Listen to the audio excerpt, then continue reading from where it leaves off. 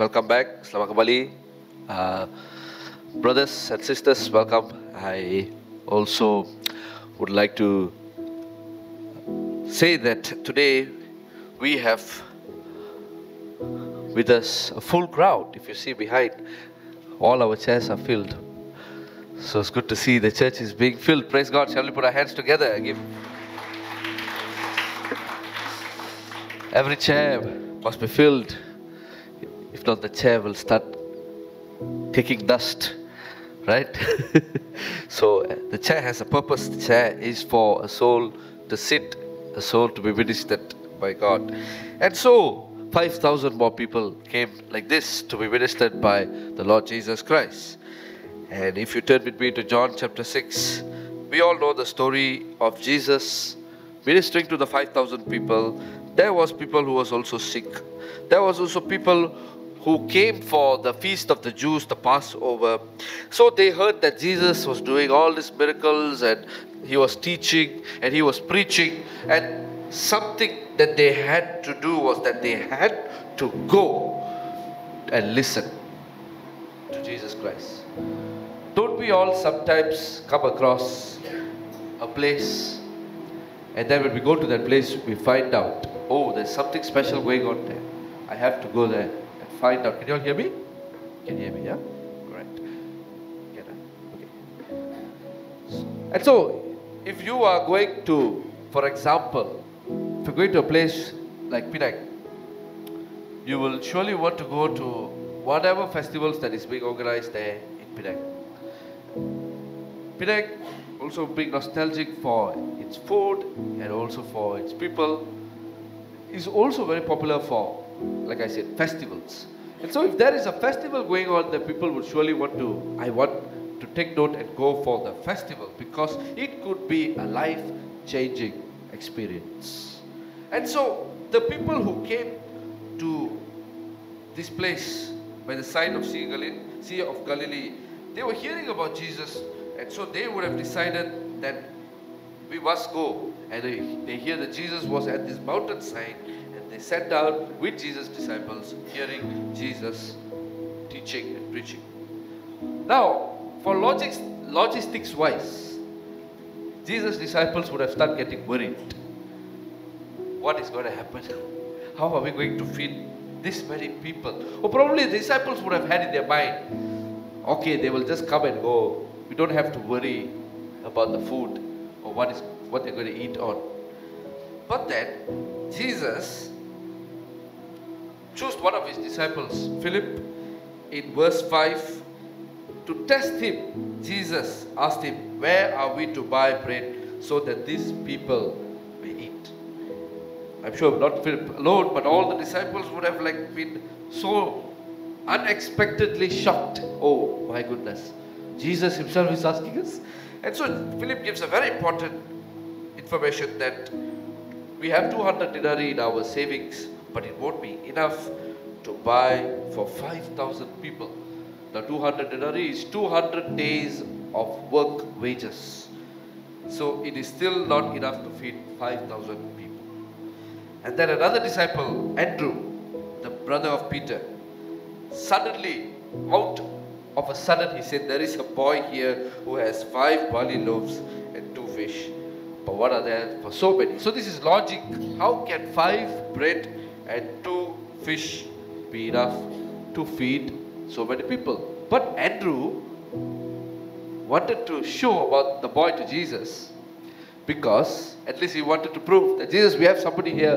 Can we at least break these little little breads and give everybody and send them away? But it's not for five thousand people, right? But Andrew was just so determined to at least prove his point. There is a boy here. I got to show you. He has a little bit lah. Jesus, can is this enough, Jesus? So Jesus honored what Andrew did actually. And he called the boy. Took the boys five bread and two fishes, gave thanks to God, and the food multiplied.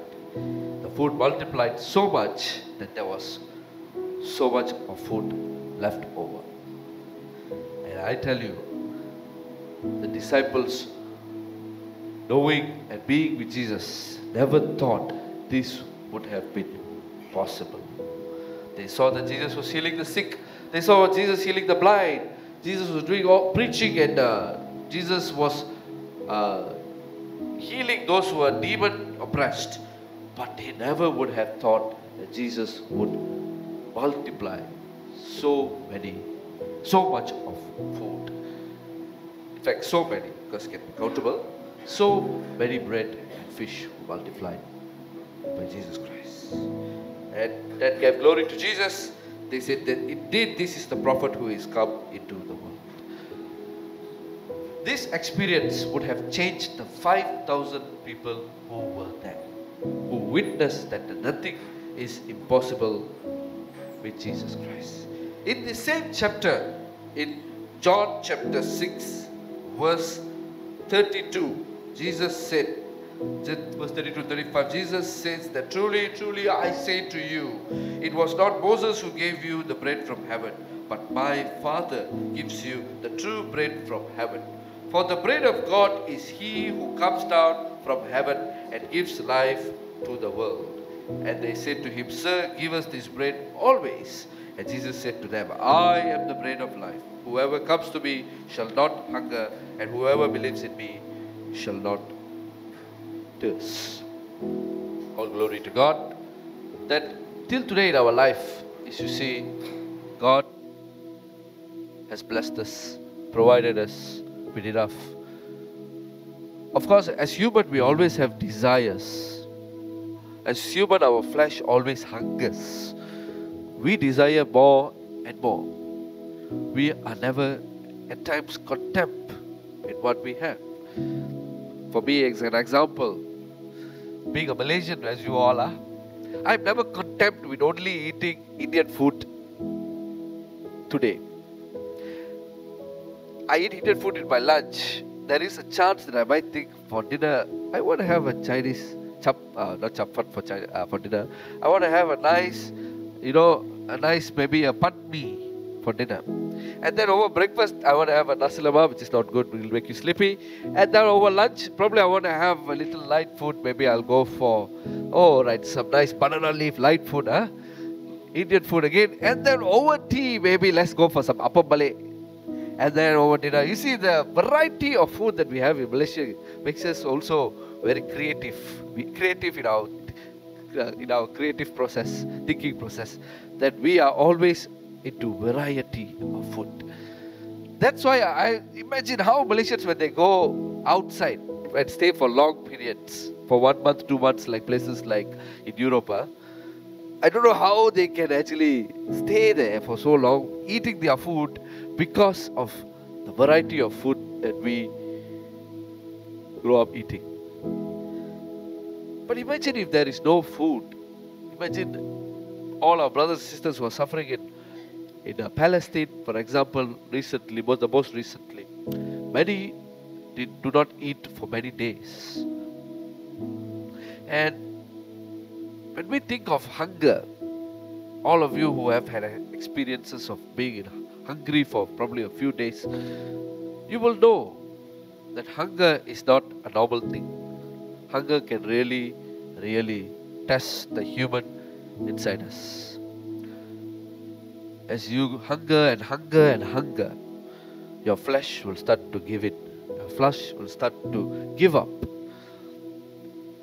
You will have the hunger pangs, as we say, or the gas in the stomach will make all its noise, and there we are, tested for real. And God, who created us, know that we human beings we need this refreshments. We need to be refreshed with food. We need to be replenished with water. If not, we won't survive. But beyond that, God also, Jesus Christ, what every day in our life He proves us is that I am more than this. I am more than food and water. I am the bread of life. The bread that will never cause you to go hunger, never cause you to go thirsting for other food. What we literally can see here is that Jesus probably would say that ah, you eat on my flesh, but the real thing that Jesus is saying is that you eat on my word. This was a man again who I remember testified that he was about to commit suicide and going up to the top building as he was going to suicide. The words of the bible spoke to him in a building. Your sorrow will turn into joy. And that word just the word saved him from his commit suicide so I mean, sorry, suicide thoughts from suicidal thoughts saved him from depression saved him because he was filled with sorrow.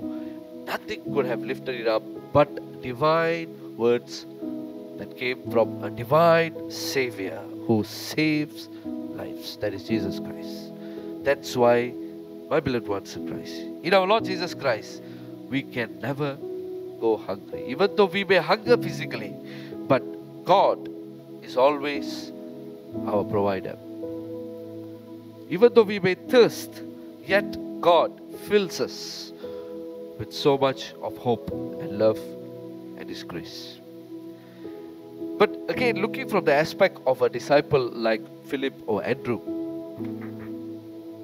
they wouldn't have thought that Jesus was testing them. They wouldn't have thought that Jesus was going to ask them to go and buy food. They wouldn't have thought that Jesus was actually trying them. And Jesus tries us, my Lord, my beloved ones. He sees us through the trials, through the tribulations. God allows us to go through periods of desperation, periods of hardship, periods of difficulties, because He is teaching us something that we cannot see. He is grooming us, grooming and building our faith when we cannot see. And so the disciples, after that, never doubted the divinity of Jesus Christ. That anything is possible with Jesus.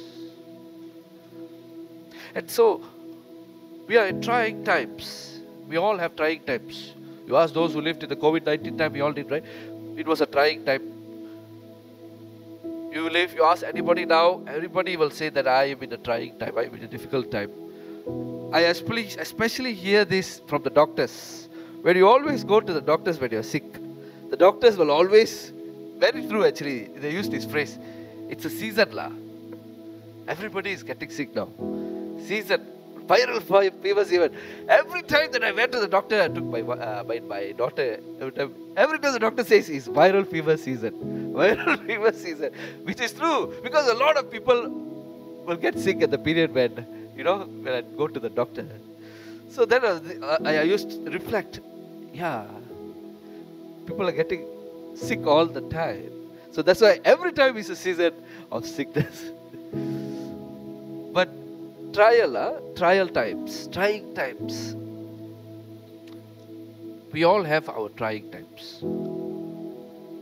Sometimes try too hard that we try to wonder is God there?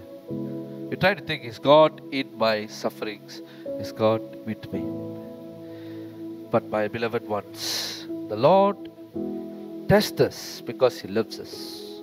He disciplines us because He loves us. Just like a parent, He is teaching us faith, how to trust Him and how to walk with Him. Those of us who have surrendered our lives to Jesus Christ, I assure you, no matter what happens in your life, He will provide, He will take care. Whether it may be your children's future, whether it may be your worries for the future, whether it may be what you're going to eat tomorrow, the Lord will faithfully provide you.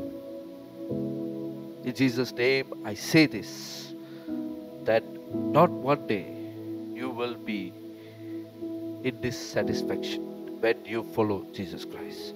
You will have your human frustrations. I do agree.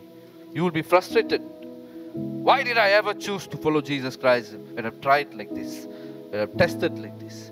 But at the end of all those tests, when God provides, when He provides the solution, when you see the bigger picture, you will truly understand what is He doing in your life. So again, I remember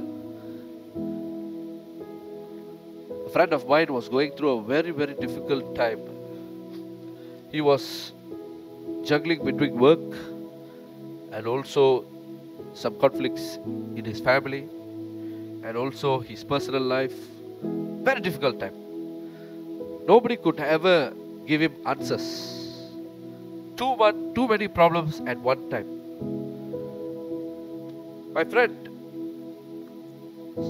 being a very close friend of mine, even could not find answers in whatever friends and relationships that he gave him sort of answers because it was a suffering that he was personally going through. And it's sometimes like that. We are mostly alone in our sufferings and in our walk, my beloved ones. There is no one there to walk with us.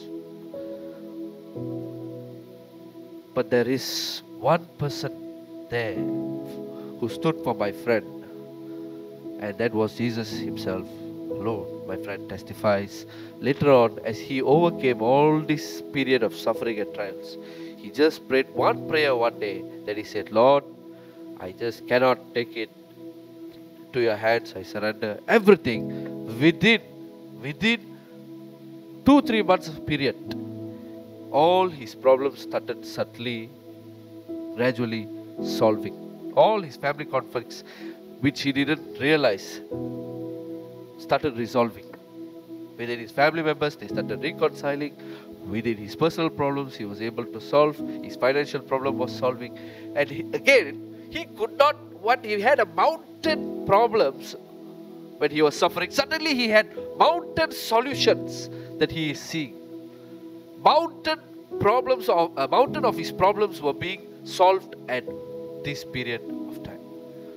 And the overwhelming abundance of God solving all his problems. He saw it in his own life. And immediately at that period when I was talking to him, I said, All glory be to God. That's what we said. I'm so glad for you. Don't we all desire that?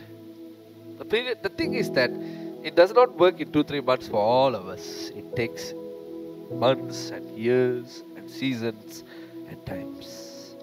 But in all that, we build our faith in Jesus Christ. So, as I conclude, my beloved ones in Christ, Jesus is our provider. He is Jehovah Ire, Yahweh Ire, Jireh. I'm sorry, I said it Tamil, Ire. he is Jehovah Jireh, our provider. And when Jesus says He will provide, He will. Do not think that this world and this life is all about eating or drinking. It makes me very sad. Again, huh? when I'm saying this, I'm not I'm not saying our Good Hope congregation, but the churches that I have seen before. That some churches that I've seen after their fellowships, uh, sorry, their services, the, the fellowships are very important. But the problem is, the fellowship, if there is no their desired food or their desired drinks, there will be conflict. And it makes me sad because the kingdom of God is not a matter of food and water. I'm glad that Good Hope, we are accepting and we are loving to one another. We serve one another and we don't have such problem. But I tell you, because of food, many churches have even decided to go away without fellowship, food of I mean, coffee fellowship or food fellowship. How sad, huh? Especially me, Pastor, you know, right, how I desire for our coffee after the service. When you go certain churches and after the church service finishes, no coffee fellowship. Ah, oh, you so sad. What if we suddenly moved like that? Huh? It's very bad. And there was this one church, they had to stop their coffee fellowship because week after week after week, there was conflict because of food. Conflict when one family brings one certain food, this family does not like. This family brings a certain food, this family does not like. Where are we coming to? To the house of God. What are we here for? To worship God. Then why does food come in between of us? Because we are foodies.